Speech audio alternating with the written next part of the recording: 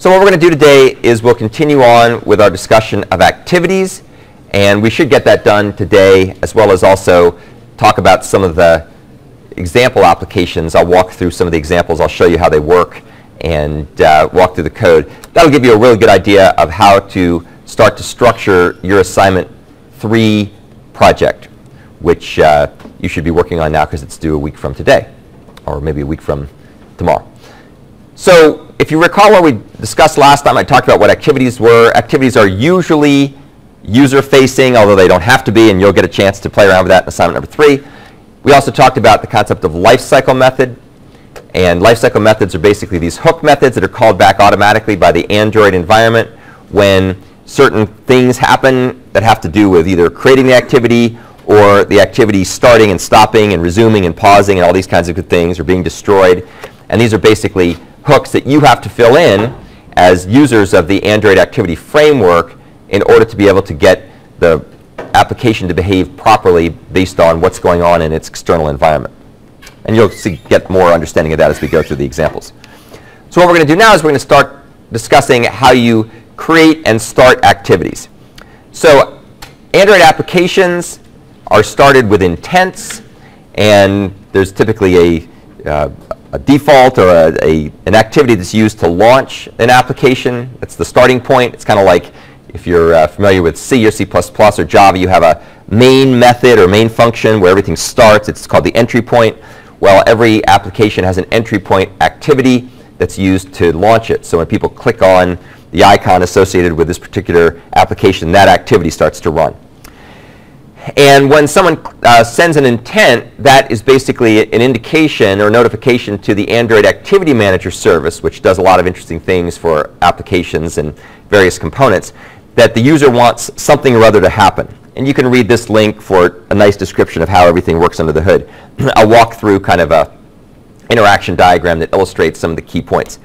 So when a user clicks a button for an application that's part of the applications that are available either on the home screen or through the app applications menu, that causes the launcher to make an inter-process communication call via the so-called binder framework. The binder framework is used to send uh, intents and other kinds of data back and forth between components in Android. And uh, so the launcher sends an, a call passing in the intent and also indicating what, what the intent has been passed to, starting an activity, starting a service, uh, broadcasting to a, a, broadcast receiver, et cetera, et cetera. And then the Activity Manager service does some sanity checking, making sure that uh, it figures out who actually can handle this intent, who's registered to handle this intent for this kind of a component and also doing some permission checking to make sure that the person who's trying to launch the application actually has permission to do so. And then finally, when it's all happy that it's found the uh, activity, in this case, that it wants to launch, it goes ahead and uses a start method on, on a process object, which goes ahead and creates a new process to run the application in. And that talks to something called the zygote, which is a really cool system level component. We won't go into too much detail, but if you Google Android Zygote, you'll see how it's used to launch applications. And it's designed to optimize the startup time by doing all kinds of clever low-level things. And that will end up forking a new Linux process under the hood. If you recall our discussion of processes from the operating system portion of the course, that's the part where the uh, application components run, including all the Java libraries and any native code libraries that need to be part of the application. And at that point, then the application is loaded into memory. So since it's a Java application, that'll end up loading in the bytecode that goes along with the application, kind of starting it up. It'll load in the application class and other things, as well as other stuff that's needed like the Dalvik virtual machine, if it's using Dalvik, the looper, the activity thread, all that kind of good stuff that's needed. And at that point, then the activity is actually started, and then a couple of hook methods are called back in order to go ahead and, and kick things off. So the onCreate method is called, and the onStart method is called. And that, at that point, control passes over to the activity that's been launched as the default activity. And from there on, it's your code, or whoever wrote the application, logic in onCreate, that dictates what happens next. So these are kind of the basic steps that take place under the hood. In order to start an activity, you have to create an intent. Um, and you can see here, typically the way this works is that there's a primary activity, which just could be the, the overall system launcher, and some secondary activity is created as a result of causing of calling uh, start activity. We're going to look at a couple of examples to make all this stuff a bit more concrete. There will be two examples we'll look at. The first example we'll look at, you give it an address, and it goes ahead and brings up an activity to show you a map of that address. So in this particular case, what will happen is there's an activity that's created in this activity, and then a start activity method is called, and you'll see some cool magic takes place to get an application to, to do mapping. So that's one application we'll look at. And if you want to take a look at the code, which we'll look at here in more detail later, just go to this GitHub, GitHub link, and you can download the code and play with it. The second application, which is actually a bit more like your assignment number three, although there's significant differences in terms of the details, uh, is a little bit more interesting. So what this does is it actually starts a couple of activities. Um, once again, you can download this application from here. And we'll see in a minute when we look at this in more detail, what it's going to do is it's first going to have you, uh, it, it'll first, when it first runs, it'll bring up your contacts application on your phone. And from the contacts application, you can select a contact. And from the contact you select, the address of the contact will be extracted from the contact entry, entry, and then that address will go ahead and be used to map where the person resides. So that's a little bit more like your assignment number three. By the way, the, uh, the video is up for assignment number three if you want to see the, a video of that's from last week talking about how it works. Okay, so those are the two different applications we're going to look at here in some detail. And in both of them, we're going to be passing intents to something that will start up another activity. But you'll see that there's a couple of different ways to do this. And you'll get experience with both of them in assignment number three. So the first way to do it, which is the easiest one, is to use a method called start activity. And start activity goes ahead and launches the appropriate, it resolves and launches the appropriate activity that corresponds to the intent. So as we'll see here in this particular case, and we'll look at this code in more detail later, but just in a nutshell, uh, this activity will go ahead and uh, create a URL that uh, in this case has the geo tag in it, and uh, it'll then use this in order to go ahead and start an activity which will end up causing this map to be displayed. So that's, that's one way to do things. Notice that in this particular case, there is no result that's being passed back from the other activity, the secondary activity that's being started, back to the primary activity. The primary activity is being used just to start things up. It uses, it's basically used to get the, uh, the address, and then it goes ahead and starts up the other activity. The other activity maps the address, and when you're done with that, you hit the back button, and that activity disappears, and you're back to the original activity but there's no communication that goes back. The second example, the one that's called map uh, location from contacts, will actually create a separate activity whose purpose in life is to get the address, actually in this particular case, the, its purpose in life is to get back the contact that you have picked, and then that comes back to the main activity, and then that contact is used to launch another activity. So the way this works is instead of calling start activity, which doesn't return any result, instead the main application, this guy here, we'll call start activity for result. And start activity for result will start another activity, which will do something, and then when that activity is done, it'll return a result back to the caller. And we'll see how that works in just a second. It's way, way more powerful because you can actually get results back as well as start things up. You'll see also when we look at this code, there'll be um, a value or some code, a, a, a, code, not software code, although it is software code too, um, that indicates the, the request that's being made. So in this case, it's the pick contact request. And you'll see why we need to specifically identify that with a unique number later.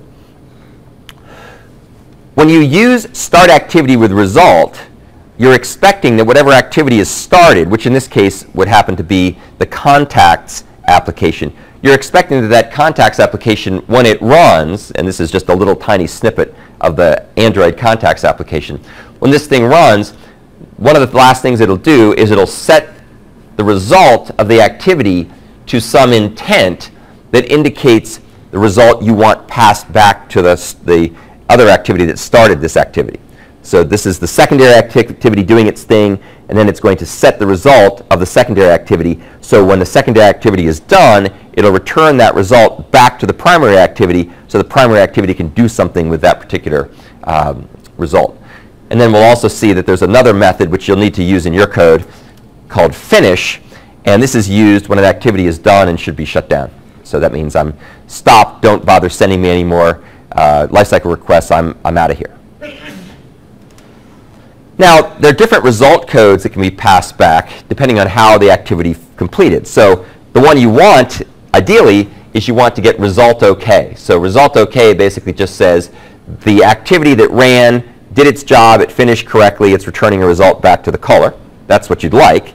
But of course, that's not always what happens. Another uh, thing you can get back is the result was canceled because people didn't have a chance to complete the operation for whatever reason. Maybe the network wasn't connected or whatever. And then you can also uh, indicate the start of user-defined result codes. And that's a more esoteric topic, but you can decide what your own result codes are if you want to do something beyond the ones that come out of the box. Okay. When the started act, yeah? Why would result codes be uh, numbers rather than just result OK in string? Uh, why would something be a number, not a string? Does anybody want to take a shot at answering that uh, Wynn's question? Yes, sir. Takes less space. Takes less space, right? So uh, an integer, which is what this thing basically is, um, is what four bytes typically, or eight bytes, right? If you're on a 64-bit machine. If you start using strings, then people might get tempted to make them very long. So it's to make it more concise. Is it, is it because like earlier Androids had very like much less memory? And no, it's just because people like to keep things concise when possible. Yes, sir. The, it says set result and result OK. Is that what you're expecting back? So, so you could, so if, if everything goes right, you can set the result OK. If something goes wrong, like if the operation can't complete for whatever reason, you wouldn't put result OK, you'd put result canceled. And that would say I'm, you know, it wasn't OK and it, it wasn't OK, let's put it that way. You can also return back your own user-defined codes, but if you do that, you need to add them to this value so that they will go one beyond the end of the ones that are defined by default. Okay. Yes, sir. What was the reasoning when they designed this um, behind using set result instead of just making a method that returns an intent? i.e. Well, effectively, that's what this is doing, right? So the way to think about this is when the activity is started, uh, it's off doing its own thing, and when it's about to be done, the user the, of the, act, the the programmer of the activity, the secondary activity, it would be called here, goes ahead and, and sets the value, you know, result OK or result canceled, and then it gives an intent, right? So there's some stuff. So that, and that's sort of an open-ended amount of things you can give it back, as we'll see later on. That information is then copied into some internal data structures inside of Android that keeps track of the result of an activity. And then that result, as we'll see in a second, is then used to make a callback to the primary activity, the original one that spawned this guy in the first place, and it passes back the data as an intent, the request code, and the response code. That'll, I think that's on the next slide or two. Any questions about this whole thing, about getting the results back and so on? Okay. So here then is what happens when the result comes back. So as you can see, there's the onActivity result method. This is a method you have to override if you so choose. If you inherit from intent, then you have the option of being able to override the onActivity result hook method. And as I just mentioned, you can see it's passed a bunch of data. So it's passed the request code, which was the thing that was originally passed in, like in this case, the, the pick contact request. That would be the request code that comes back. The result code, or the response code, which is result OK, result canceled, etc. And then the data that went with the intent. So you can see, as I was just saying, the stuff that's passed to set result is the result code and then the intent. And then that information is passed back to on activity result. And then there's typically a bunch of error checking and sanity checking and so on. And we'll talk more about that in a second. Yes, ma'am? What's the difference between request code and result code? So request code is what operation it was I trying to run. So if you go back over here, you'll see that we were trying to do the pick contact request because we were starting up an application, an activity to, to give us an option to pick the contact we wanted from our list of contacts. The response code is whether it succeeded or failed in doing that. So request code is what operation was this, and the response code is did the operation succeed or fail. So if you take a look here, you can see that if the res response code was OK, and if the request code was pick contact request, if those things are true, then we're going to go do a bunch of stuff, and we'll look at that stuff later. Yeah, Jonathan. Are the request code numbers stat, like, kind of decided beforehand? You, you can decide what you want them to be. You, you are totally in control of that. So um, you just have to make sure if you, ah, so good, good question. Why does Android have request codes? What's the purpose of the request code? To get it the right application? To- the Uh, activity? So it's not really used for activity. That's done through the intent. The intent uh, over here, this guy, yeah, so let's take a very specific look at this. Start activity for result. You pass the intent in. That's what's going to be used to figure out which application to run, which activity to run. Why do we have to pass in the pick contact request? Justin? Can you have multiple requests available for Yes, exactly. So, and as an application client, you, now this, this example might or might not be a good example for this, but you could, in theory, start up a bunch of other activities or other things that you wanted to have going on from the main activity, from the primary. So the primary activity could start secondary activity, a tertiary activity, et cetera. And when those things finish, somehow the caller, the primary activity, has to be able to differentiate which one is actually returning a result. And so that's why you give a code when you invoke it, so, and the thing will give it back to you when you're done, so you can match the two things up. So is that what the, the user-defined return ones are for? Is for providing the nuance to be able to say No, no, that's, secondary, secondary activity went through, but the tertiary one failed, stuff like that. well, the, uh, no, it's not, that's not why those things are there. The user-defined codes are there so that you can define other kinds of things besides OK and canceled, like you might say, end of world has come, or something like that, right? The re- result code is so that you, sorry, not the, the request code is so you can figure out which response you're getting back because these calls are done asynchronously. So you invoke this method, you invoke start activity with result, and it doesn't block. It just goes off and does its thing, and it'll come back whenever it comes back. So if you had three or four of these things running simultaneously, you might start them up in order, you know, pick contact request, download image file, um, you know, launch torpedo, whatever things you're going to do. Or you got three things to do. So you can't just treat it like a stack.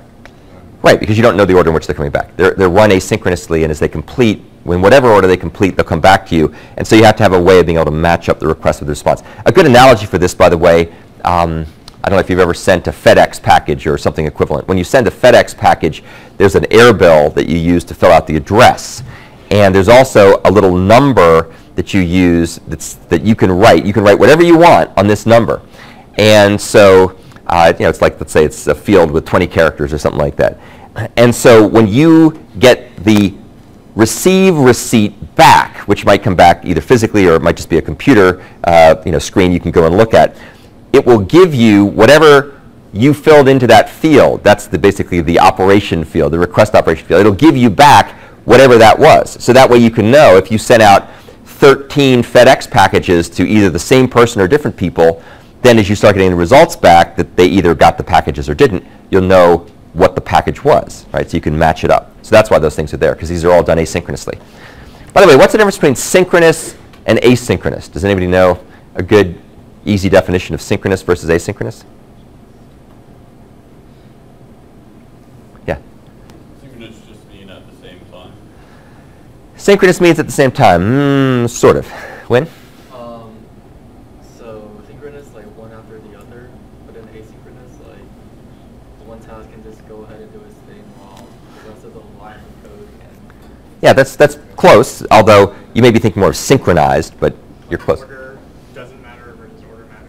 Uh, order doesn't matter. Those, those are all part of the thing. Synchronous typically means you invoke an operation and you block waiting for it to finish, right? Asynchronous means you invoke an operation and you don't block waiting for it to finish. So can anybody think of everyday life kinds of things that you do to communicate? And, and synchronous and asynchronous typically are referred to in the context of communication. That's the most typical context it occurs in. Can anybody think of an example of synchronous communication where you block? Make a phone call, right? You, you know, pick up the phone, you dial. Now, of course, nowadays with email, with uh, voicemail, it becomes asynchronous. But let's say we're back in the, the bad old days when you didn't have voicemail. So you would basically sit there waiting, you know, on the phone until it either, you know, you, you either got tired of waiting or someone picked up the phone or the call got dropped or whatever. That's synchronous communication. What's an example of asynchronous communication? Text message? Text message Fire and forget. or a letter. You know, you mail a letter. If anybody remembers how to mail a letter, like who does that? But um, you know, you put it in the mailbox. Very few people will stick a letter in the mailbox and then sit there waiting for the result to come back. Right? You can have a very, very, very long wait with snail mail. So that would be asynchronous. So you can go off and do other things. Um, there are pros and cons with synchronous and asynchronous stuff. The particular discussions we're having here are asynchronous. We'll talk later about synchronous communication. Okay. So the request code is passed back, so you can figure out which request was you're handling the response for. The result code is indicated, which indicates whether it succeeded or failed. And then the intent comes back, and that carries whatever data happens to come back, which could be various things. In this particular case, it'll be an indication of which contact was picked by the, uh, by the application that's the, the people application, the contacts application. Okay. So we're going to look at some examples here shortly, but before we do that, I want to first talk about the concurrent programming aspects of all this stuff, because that, again, is, is a big discussion we'll have a lot of in this class. Is you'll get a little bit of chance to play around with concurrency, and then if you take CS282, you get a much deeper chance to play around with concurrency. So basically, the concurrency model that Android provides is constrained in various ways due to certain quirks of the way that Android works. And the way that Android works, I probably mentioned this before, but this will be another introduction to it. Android applications all have one and only one so-called UI thread or user interface thread. And these, this is the thread that actually interacts with the user. It does, it can do other things too, but the main thing it typically does is it's the one that is called back when you add text to an edit view or you press a button or whatever, whatever you do that involves you know, type uh, characters on a keyboard, whatnot. That's the application thread. And, and all and certain kinds of things have to run in the application thread. All the components, activities, services, content providers, and so on, in the same process use the same UI thread. Although we'll see later you can you can tweak some of these things. I should probably say by default that's what they do. So here are some things that you can do in the UI thread. You can receive notifications either at the application level or the system level. You can interact with users as we just described with people clicking buttons and entering text and so on. Perform activity lifecycle operations on start, on stop, on pause, on resume, all that kind of stuff. The various components, or I guess I should say toolkit components, not quite the same thing as Android components, the various objects that exist, classes and objects that exist in the Android environment that deal with user interface related stuff, all have to be accessed in the user interface thread. So if you want to set a bitmap image, that has to be done in the user interface thread. If you want to pop up a dialog or a toast to interact and inform the user about something, all of those operations have to be done in the user interface thread. You cannot run them in background threads. If you try to run them in background threads, bad things will happen. And there's a whole variety of reasons for that. And you can read this particular link to find out sort of the rationale for why this is the way it is. Almost every user interface known to humanity uses the UI thread as a single threaded entity to do interactions with the user. Any operations, and I'm going to focus here on the activity part because that's our focus right now, but this really applies to anything. Anything that you do in the user interface thread must be so-called short duration. And short duration has a very specific meaning in Android. It's sort of between at less than three to five seconds. That's short duration. So, you know, displaying an image that you've already downloaded, um, you know, getting text from the user, all that kind of stuff. Those are all examples of short duration operations. If the thing that runs on the user interface thread runs for longer than that amount of time, you get this application not responding dialog that says, do you want to shut the application down, yes or no? And that's because Android assumes if you're taking a long time to do something that there's probably a bug. Your code has gone into an infinite loop or it's blocked on a resource that it may not get and so on and so forth. And you can learn more about application not responding uh, patterns and programming here at this article. Conversely, long duration operations, and those are the ones that run for more than three to five seconds, those need to run in a background thread. And we'll talk a lot more about how to do that. You'll get a chance to play around with this for assignment number three. But the bottom line is things that take a long time or a variable amount of time to run, sometimes short, sometimes long.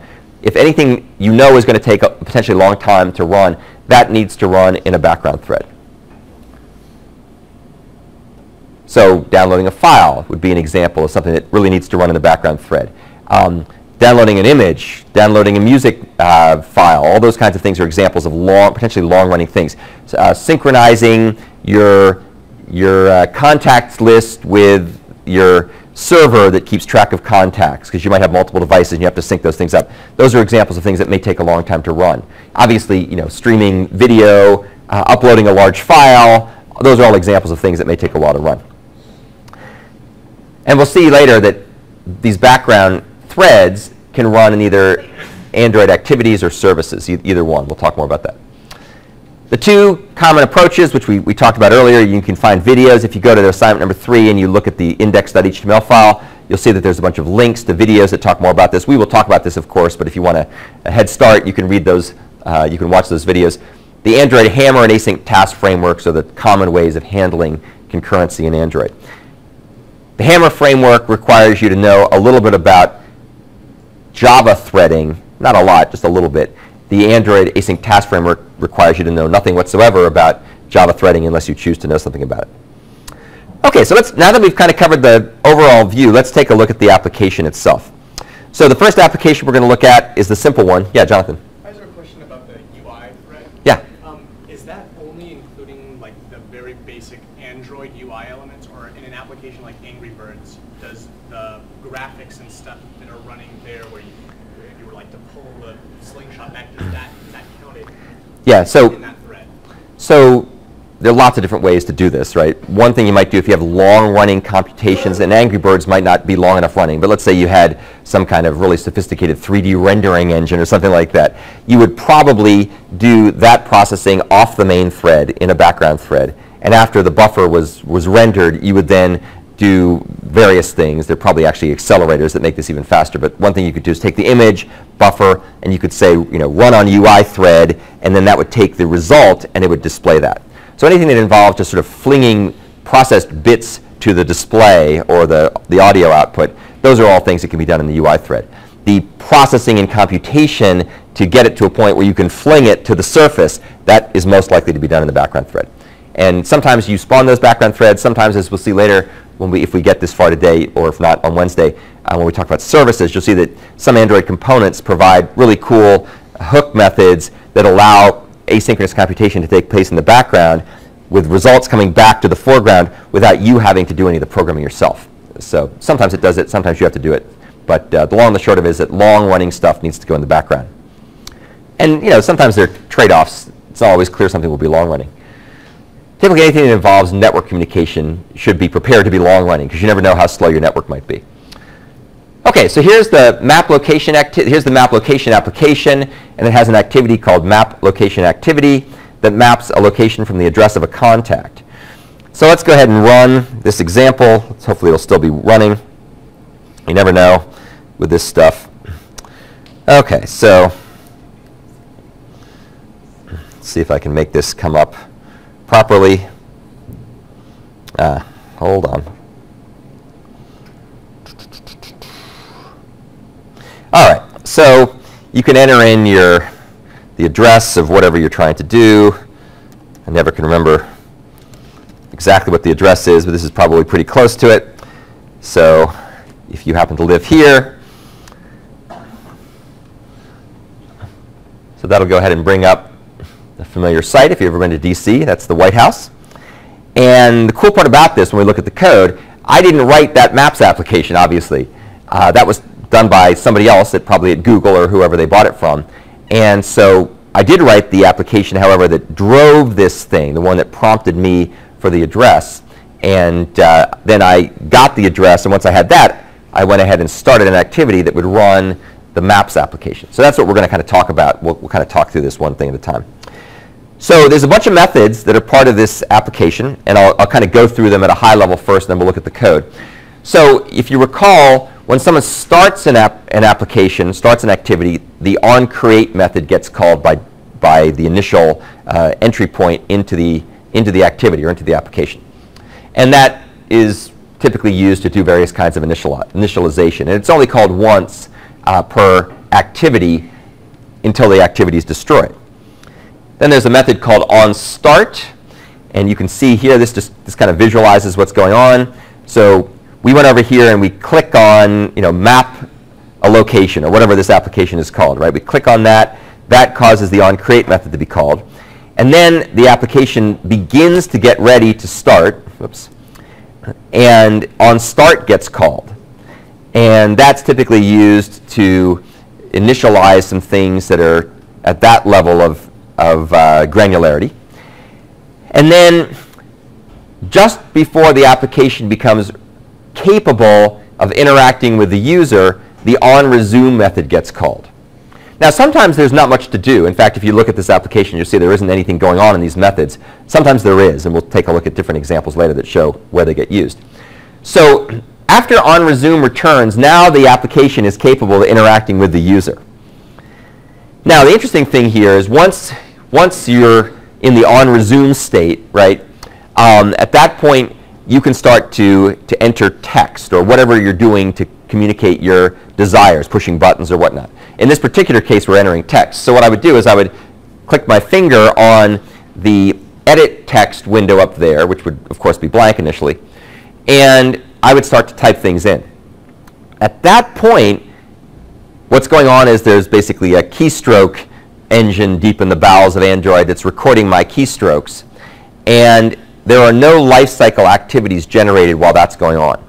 So lifecycle activities are a little bit coarser grain, but typing things into a, a, text window or edit text window is not generating events, nor is it changing the focus of the user interface. We're right there. We're entering the data. When I'm all done, once I've got my data entered, then I can go ahead and click the Show Map button. And of course, there's a variety of different ways to do this, but that's the typical way to do it. So I click Show Map, and that, of course, will then end up calling through the wiring mechanism I used under the hood of all this. It'll end up going and calling my show map method. Now, I don't, I don't have to call it show map. I could have called it, you know, locate address or something like that. It doesn't matter. I, it's just a configuration option to map that button to whatever method I want it to be mapped to. And then various magic will take place there, and we'll look at that magic later. Now, what's going to happen, and the magic here, is we're going to figure out how to make the right kind of intent to launch something that will show the map. And we'll see later there's a couple different ways to do it. But in either case, we start the activity. And this new activity that gets started here will display a map at a particular address. So now here's the interesting thing. So a new activity is starting up, right? And that activity is going to end up displaying the map. What happens to the old activity? So once that new activity is beginning to start, then lifecycle methods will be call, called back on the original activity, the one that launched this guy in the first place. So the first method that will be called is called on pause. And that will indicate that the originating activity, or the primary activity, is about to lose focus, and the new activity is gaining the focus. So thinking back to the task stack discussion we had last time uh, with the backstack, the new activity will be pushed on top of the stack, and the old activity will be pinned underneath that. By the way, if you want to have fun, uh, if you have an Android phone, you can play around with the backstack. It's really kind of interesting. After last class, I went and played around with it for a while, and you really get a sense of how it works and what happens when you hit the home button. And it doesn't destroy the stack. It just basically um, gives you a new context where you're doing stuff. And as you move around to the task manager, you can go ahead and go back through various levels of activities on the stack. So after on pause is getting called, um, the, these things are all called automatically. So, so on pause is being called, called back in the originating activity, but in the new activity, which is the one that does the mapping, then the on create and on start and on resume methods are all called automatically in that new activity. So things are going back and forth, back and forth. Kevin? Um, the, the on start method in the new activity wait till the on says, okay, I'm done, or? Communication between those? well, it shouldn't really matter, but the on pause activity and originating activity should get called before the new activity is actually up and running. But it, it shouldn't really matter because the new activity that started is going to block the old one anyway. So it's, it's gone away. I mean, it's, it's not gone away. It's, it's no longer accessible. The focus has changed to the new activity. Keep in mind also that Android, by and large, does not have overlapping windows. So when you start a new activity, it typically takes up everything and blocks the one that's already there. There, there are ways to bring up partial windows, but that's not the norm. When you start an activity, it typically jumps in, you know, takes over. Um, conversely, if you were in a more conventional desktop environment, you know, you could have a new window and it would be occluding just a portion of the other one, and it's much more complicated in that case to figure out how to move and navigate through the window hierarchy. But in Android, it's pretty simple because whichever activity is in the front is the one that has the focus, and that's the one that's going to be running. And the other ones are, are typically blocked, if they so choose to be blocked when their hook methods are called. And you can, you can find out some interesting discussions about um, how on pause is called back and why there's on pause versus on start. A lot of this stuff is somewhat murky until you really know a lot more about Android and you do stuff with graphics and uh, windows that partially block other windows and so on. And then the on stop method is called when the activity is no longer visible to the user. So when the new activity is actually now taken over the screen, you can no longer see the old activity, on stop gets called back. And the reason for this is that there's some ways of creating activities that only uh, show up in a portion of the screen. And you might want the background to continue to exist. Maybe you're doing some kind of cool graphic uh, visualization. You want that to keep going. And that'll keep going until on stop gets called. Then there's another weird method called on restart, which is called if an activity is stopped and is about to start again, which is kind of a strange thing to have, but um, they have it, and you can learn more about that. And then finally, on destroy. On destroy is called when the activity is about to shut down. And there's a variety of ways that an activity shuts down. One way an activity is shut down, in fact, the most common way is when someone navigates out of it by using the back button. But there are other ways of doing it, for example, which you'll do in your assignment number three, where you actually call finish, which is a method that tells the activity, I am done, shut me down at this point. And you'll see why you need to have that later. Okay, so now that we've talked about that, let's go ahead and look at the um, look at the actual code. So I want to take a look at the code here. So we'll go find this thing. Probably need to make the screen ever so bit bigger because it's kind of hard to see. Let's see, it's a big room, so we'll go with 20.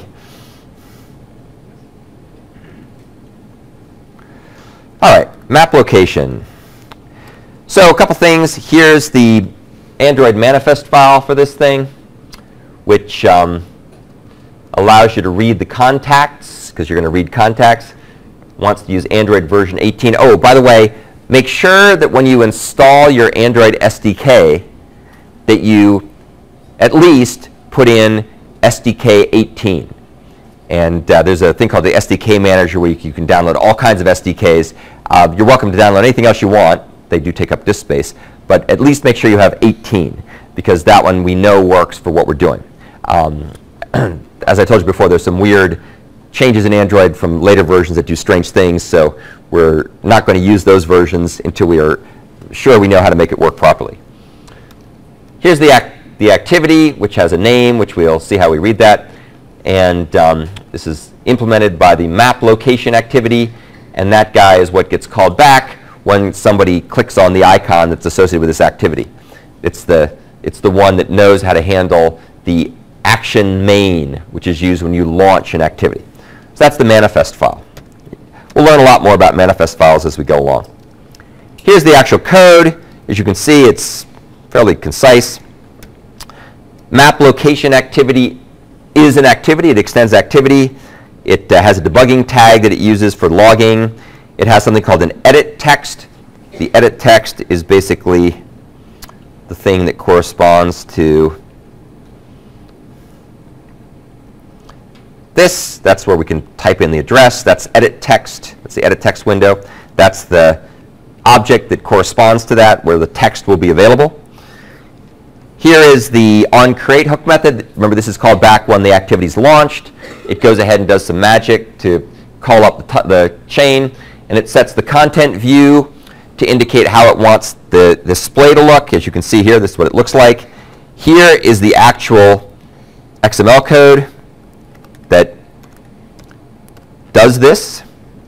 So it may be hard to believe, I know, but this is the code that um, this code here is what creates this GUI there. And you can see it has a text view where it says enter location. And it has a, an edit text, which is where you go ahead and put the text. And then it has a button, which is the button that says show map. Here's the text that it uses. And here's the method it's going to call back when you click on that button. And there's a little cool Java reflection going on here. We won't talk about that in detail, but that's being used under the hood to associate these things. Yeah, Jonathan? Are we writing our own? No, those are provided for you. Yeah. And then also in the edit text, Uh-huh. I don't see anything that has that information from the last thing you showed, where you had the private variable of the edit text. How do you link Oh, let's see. Um, you mean, oh, there, there is nothing, well, there is nothing in here to start with. It's just blank. How, how do you link the edit text with the show map button? Oh, I'll show you. We're about to get to there. All right, so let's kill those guys. So, so this is, what we're doing there is we're saying that's the layout we want to use. And then we go ahead, and this is getting to your question. It's not quite the answer, but it's getting there. We go ahead and we find the button that's the show map button, and we, or sorry, this is not the button. This is the text. This is the edit text, and we stash this thing away in a variable because we're going to need to use it later. So that this thing here, m adder text, we go ahead and associate that with an object, and then you'll see in a second how we use that object. Okay, so assuming that the users come along and, and followed the right protocol, in other words, they've, they've entered in the appropriate location, when we click the Show Map button, and by the way, there, there are various things we could be doing here to make this work in a little bit easier way, but um, here's the, here are some of those hook methods that we talked about. On start, we just log the fact that the activity is about to become visible. On resume, log something on pause, on stop, on restart, on destroy. As you can see here, they're not doing anything interesting. They're just there so you can see the steps that are taking place when we run the application. Finally, here is show map. This is the method that does the real work. This is the method that's called back when the person clicks the show map button. That ends up using Java reflection to call the show map method with the view information. And here is the answer to your question. So now that they've clicked the button, we then go ahead and go to the matter text object, get the text, and then we turn it into a string. Is it not already a string? It's in some other encoding that we need to be able to use as a string. So we turn it into a string. We then go through and we replace plus, uh, we replace spaces with the plus sign, which is what Google Maps wants to use to indicate things. It's just a funny thing. So you replace spaces with plus signs. We hide the keyboard, so the keyboard goes away. And now we're going to go ahead and see how we're going to get this thing launched. Now, there's a couple of different ways to launch something to view your application. And one way to do it is to uh, try to see if there's a, a Maps application. Some, some phones come with a Maps application that's built in. And the Maps application knows how to handle so-called geo intents. And we'll take a look at those in a second. So the first thing we do is we call something called a factory method. We'll look at the implementation in a second. And it's going to go ahead and try to create an intent that's a geo intent. And you'll see what that means in just a moment. And then we, do, we go and we say, hey, if there's actually an application registered in Android that knows how to handle geo intents, we go and use this thing called resolve activity with the package manager. If there is in fact an application that knows how to handle intents, start the activity and use that application to handle the intent. And that would be if your phone has the Maps application configured. But not all Android devices have the Maps application. Now, I'll pretty much guarantee you that your Android phone does if you have a phone. But if you have an emulator and you haven't installed the application that will view maps, then there won't be an application to handle the geo intent. So in that case, we're going to go ahead and make a maps intent as opposed to a geo intent, and we're going to start that. And that's going to use the browser. And you'll have a browser, right? So you always have a browser. And that'll just bring up the Google Maps um, website, and it'll give it the link that has the address, and it'll just display it in a browser as opposed to a, as a native app. Yeah? What's the final for? Is there a reason that you have to? Um, it's just, in this particular case, it's not strictly necessary. It's a good habit if you create local objects or um, data or fields or parameters to methods that will not change after they're initialized. It's a good habit to get into to make them final. And there's certain optimizations that can be done with respect to that. But it's also just an indicator to the reader that this thing is not going to be changed after it's set. Yeah? If there are multiple activities that take the geo? If there are multiple activities, well, I, th- I think the real, yeah, if there are multiple activities that can handle the geo intent, actually a, a better, better way to ask the question is, are there multiple activities that can handle the browser intent, the, the, the, the URL? The, the answer is yes. The geo intent is pretty much just if you have maps activity, a maps application. But there might be more than one, because there might be the one that's built into Android, and there might be some cool one that you wrote or somebody else wrote as a third-party app. Then if Android comes back with multiple matches when it does intent resolution, it'll then throw up a little menu, uh, a chooser menu, and you can pick which one you want to use. And you'll actually see some examples of that in later examples that we run. You don't have to define, you don't have to resolve anything if that happens. Android does it all. Android hands handles it for you. It'll throw up that little chooser dialog, and then you select the one you want, and then you typically get a choice between always and just once. And then if you say always, it records it. If you say just once, it just runs it one time, and next time it'll prompt you again. Yeah?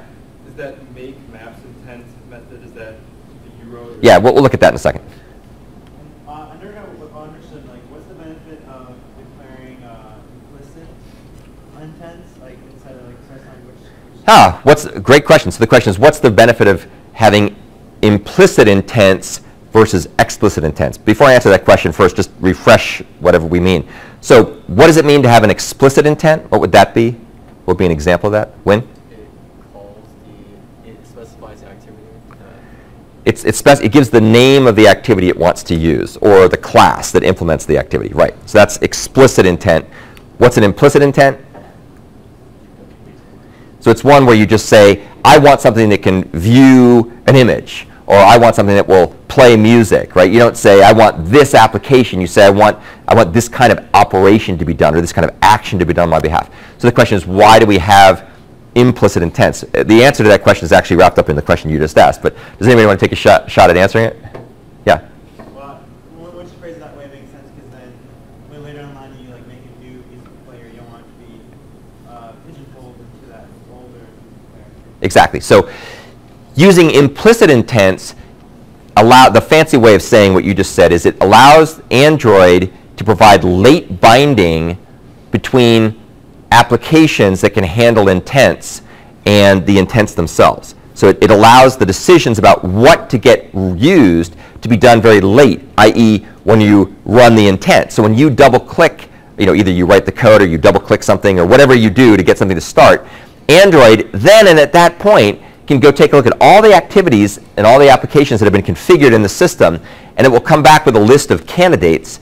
And then, uh, you know, there are various ways it can disambiguate things. You can prioritize that stuff, so you can say always choose this one instead of that one, and then it'll just choose that one. Um, but you could override those priorities later in the life cycle of your phone, or you can actually disambiguate yourself. So it gives you a lot more flexibility. It gives you, the user, and the system more flexibility in matching the intent with whatever component is going to be used to implement that intent. So as a general rule, late binding gives you more freedom, more flexibility. Let's take a look at these factory methods. That'll help explain a lot of this stuff. Here's hide keyboard, just hides the keyboard. Here's geo intent. So we'll compare geo intent and maps intent. So geo intent, as you can see, goes ahead and creates a new intent, and both of these intents have the action view action. So they have the view action, which makes sense, right? We're trying to view an address. So what we're saying here is make me an intent that will allow Android to pick the appropriate way to view this thing. That's what we're saying with view. And then we give it some data. And in this case, the data is basically the so-called geo intent. So geo is a special tag. It basically is the, um, I think it's the content authority or something like that. It's a fancy name. And that says, you know, who will handle the geo intent? And, and if there is a geo intent handler out there configured into your system at that point, then here's the address that I want to be mapped. So that's what that's saying. So that's giving data that will be picked up by the system to figure out how to map this item.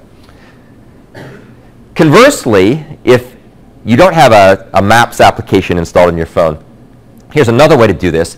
This time, we're going to basically just create a URL, and we're going to give it the maps.google.com address, and then we're going to give it the address after the question mark uh, q equals thing, and that's just HTML gobbledygook that indicates how you want to have the receiver parse this stuff and figure out what to do with it. Yes, ma'am? Can you re-explain what intent.action view is? Yeah, so if you recall, uh, when we talked about intents, we talked about there were ways of being able to do lots of different kinds of things. Let me go show you the particular discussion we had about that because it is relevant here.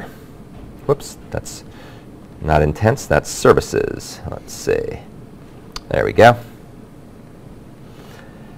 So we talked about um, intents being a way to indicate what you want done without having to say specifically what it is you want. So this is, these are some good examples, but I think there's also one that has more specific examples.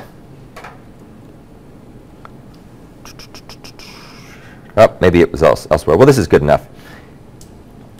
So if you take a look here, here was a list of a bunch of different kinds of things that um, you might want to be able to do. So the intents would be like action view, which is saying, find me some way to view this thing. The thing might be uh, an image or it might be text or something like that. You might also say action edit. So if you want to be able to edit an email, uh, you want to be able to use the edit action. You might have action pick, which is what you would use if you wanted to come up with some way of being able to uh, choose, say, a list from your contacts application. You could have action play if you wanted to play a song, right? These are all generic things that you want to have done. They're actions.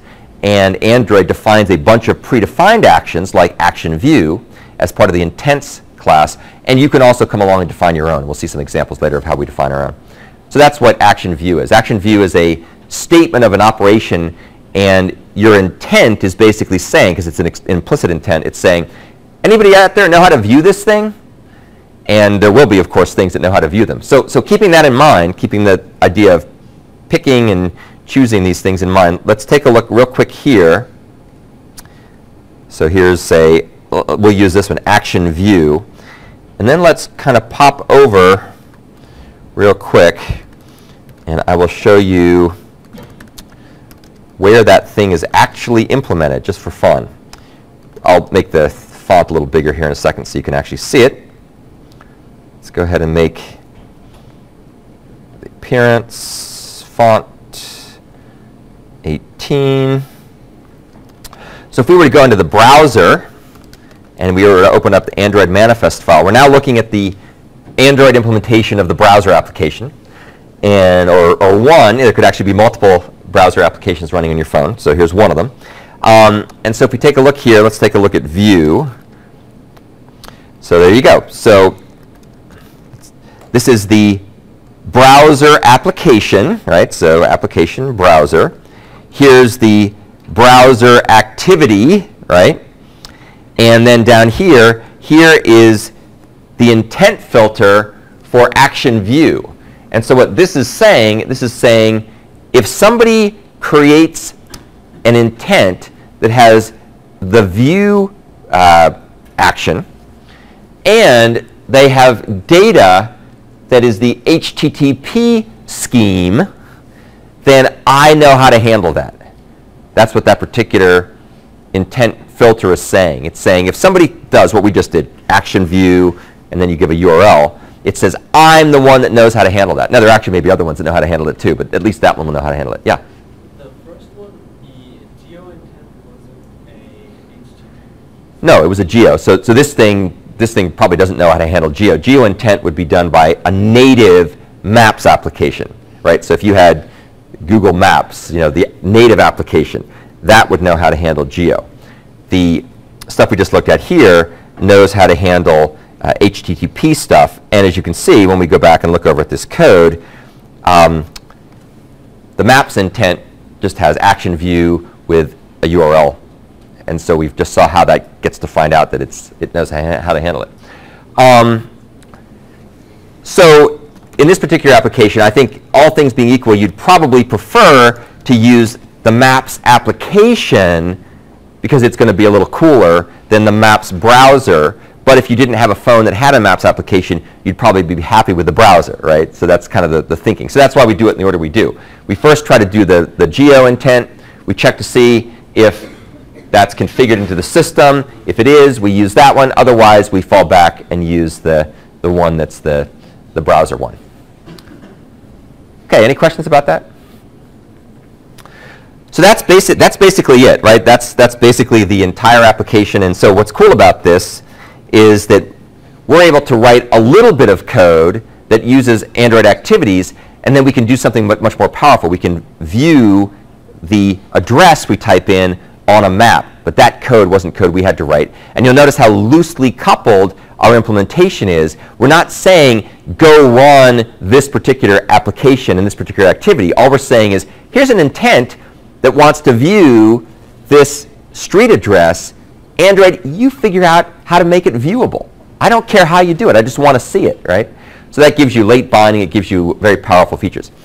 All right, what I want to do next, and this will probably take us up to the end, is I want to go back over here, and we're going to talk about the next example. And this is the example that is actually the one closest to what assignment number three is. So here's basically what it does. So in this case, you get a screen, you click Find Address, and oh, and you can find the you can find the code here. Um, you say Find Address. That will create a new activity that starts up the Contacts application, sometimes called the People application on different phones. It's your Contacts application, from which you can then select People. So you can do whatever you need to do to get your contacts. And then when you decide a contact you like, you, you click that contact, and then that application returns back to the originating activity something that indicates the contact that was selected. We'll talk more about that in a second. Once we have that information, we parse the contact that was selected, and it's a little bit low level, but I'll show it briefly.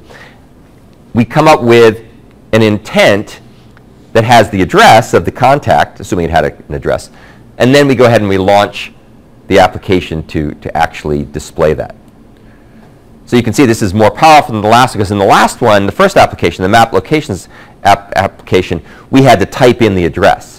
But that's tedious, right? So what you'd rather do is choose from a list of contacts, and then it'll go ahead and automatically figure out the address. Obviously, that's not my real address. So the lifecycle events are the same, so I'm not going to go through them, but we have an additional activity launched here. So first, let's see if we can actually run this thing. Uh, let's see, we need to have Android, and we'll go to map location from contacts. Hopefully it works. Launching a new emulator. And hopefully in a second that'll switch over to the new one.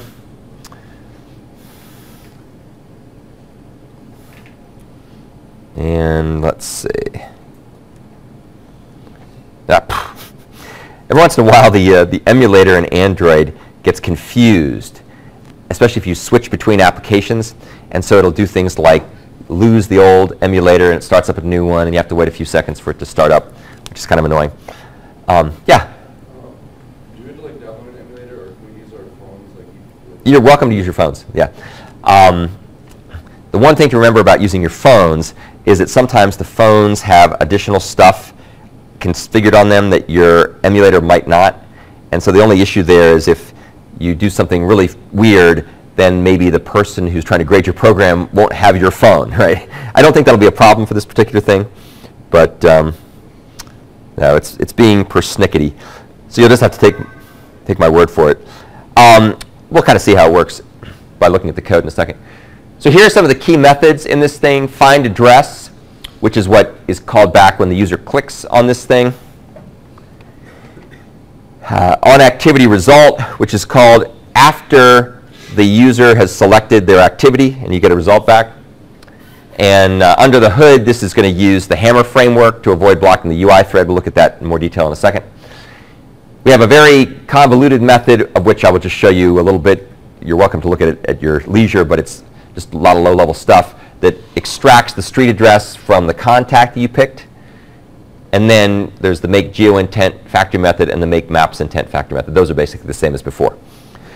So in our remaining time, let's go take a quick look at the source code for all this stuff. It's really cool.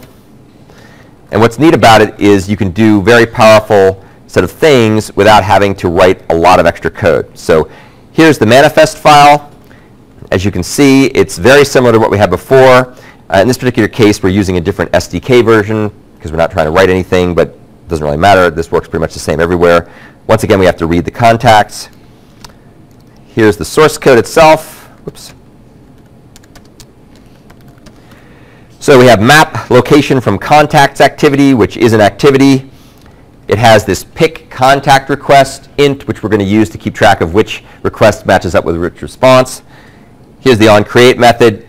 The onCreate method simply goes ahead and sets the content view, which is just going to have the find address button. That's all it does. There's nothing much going on there. Then there's a bunch of hook methods for starting and stopping lifecycle stuff. We're not going to talk about that. That's the same as before. And then here, finally, is the method that's called back when you click the find address button.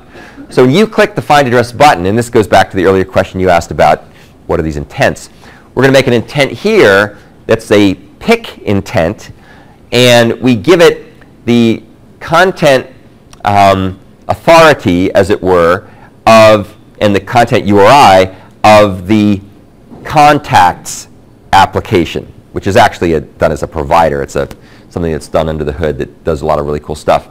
And so what this is going to do is this is going to start up an activity which will run the contacts application. And that's how we indicate that. We say, I want to pick something. So that's, that's just a generic intent. You're picking, in this case, a contact. So you say, I want to pick something. And then you indicate where do you want to pick it from. And you want to pick it from this particular content URI, which will ultimately find its way into the thing that runs the Android contacts application.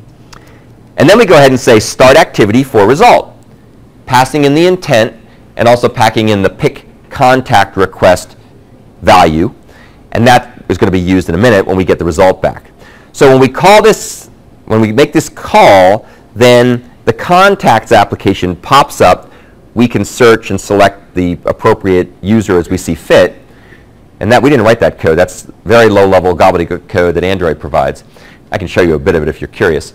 And then when that's done, it'll send a result back that comes back through on activity result. So just for kicks, let's go take a look over here just to prove to you there is such a thing. Go take This is the contacts application. Here's the Android manifest file.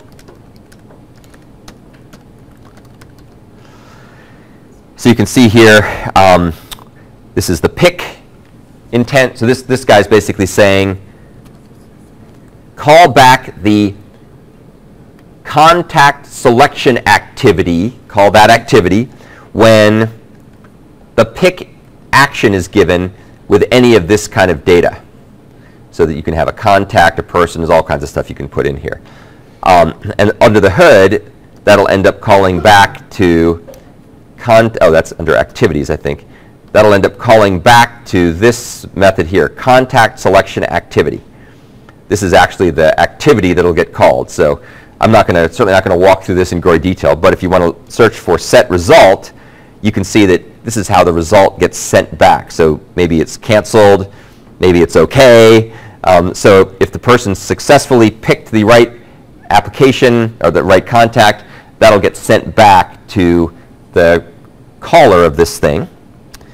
And the caller of this thing is going to handle it through an onActivity result hook method, which comes in here and says, did it succeed? Did we get a result OK? And was it in fact the pick contacts request? Is that why this thing's being called back? For this particular application, there's only one request, so it's always going to be the right one. But more generally, you could have multiple outstanding requests on the same or different activities. And now we're going to do something really cool. Now we're going to go ahead and do some magic to get the rest of this code to run in the background. And you'll see in a second why we want it to run in the background thread, because it's somewhat complicated. So we make ourselves a runnable. And this runnable has a rather verbose name. It's called get and display address from contact. It's rather verbose, but at least it's descriptive. You know what it's trying to do. And so it has a run method. Now, this run method is going to do two things. The first thing this run method is going to do is it's going to call another helper method, which we'll look at in a second, called get address from contact. And it's going to take what was passed back to this activity from the contacts application. In this particular case, it's going to get back a URI, which is just like a, a path name, to a row in the contacts database that corresponds to the person you selected as wanting to be your contact. So you click on that person and you get back a URI or a, a, path name, if you will, to that row in that database. We don't get back the contact, you get back a way to get the contact. It's like asking someone for help and they give you a phone number to call, right? They don't give you the information, they give you a phone number, they give you a URL. So we get that address. Now keep in mind, this thing is going to be running in a background thread. And then, after we have extracted the address, and you'll see why we have to do this in the background thread in a second, we then go ahead and take the, um, this thing and we put it on the user interface thread. So what's going to happen here is in the user interface thread, we're then going to go ahead and make the geo intent or make the browser intent, either one, make the map intent. That's going to be run back in the user thread. And we, are using this with this fancy method called run on UI thread. And if you watch those videos about the Android HaMeR framework, you'll see how all this stuff works. This code here is pretty much the same thing we had in the other application.